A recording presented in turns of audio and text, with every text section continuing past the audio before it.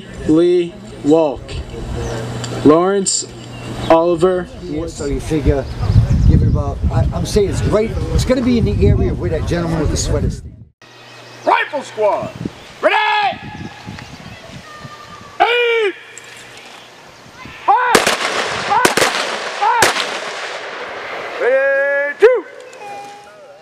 My father and my grandfathers were both Army, so I just wanted to join the Army.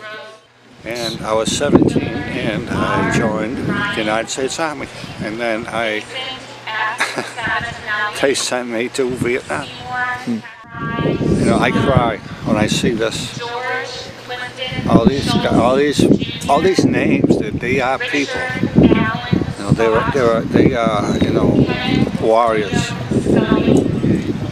that have like you know done so much and they sacrificed their lives. All my brothers are here on this wall. hell he just went through, and now he rates the Marine Corps Blues. He learns to fight, to maim, to kill, even though it is against his will. He will fight a war for us. 15 east is that way. Yeah, right, that in the, right in the corner there. I was, like he said earlier, he was a lucky one too. He didn't get sent over. I was over there in 3rd Marine Division. And uh, the 4th and 9th Marines.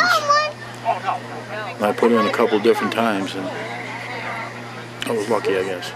Teddy Johnson, he was from Brockton.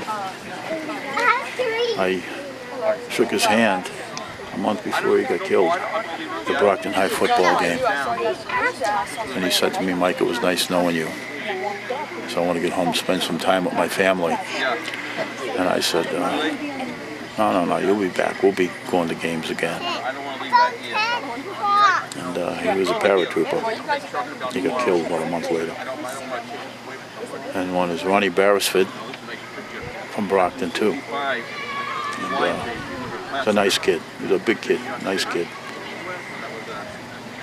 And Danny Goodwin, another one. Timmy Holster. I went to school with these guys. It's a shame.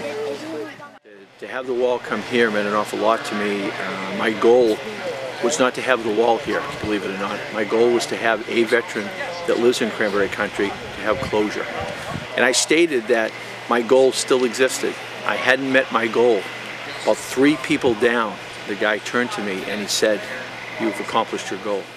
A lot of Vietnam vets come down here in the morning after one o'clock and everything. You just sit there. And the key is when you spot one, you can't put the scare to them. They gotta come down by themselves. And when they do come down, you watch them walk over to the wall. And then what I do is I walk and I approach them very quietly. I said, welcome home. And then we embrace. Most of the time I whisper, I said, well, if you need a talk, we have to wait at 10. This is our healing. For all of the men and women. I knew I'd get it. I knew it For would this we give thanks. That's still life. That's their life. Even though they're not with us anymore, they're still alive. Dear and gracious God, bless It's still alive. America. It's still alive. Amen.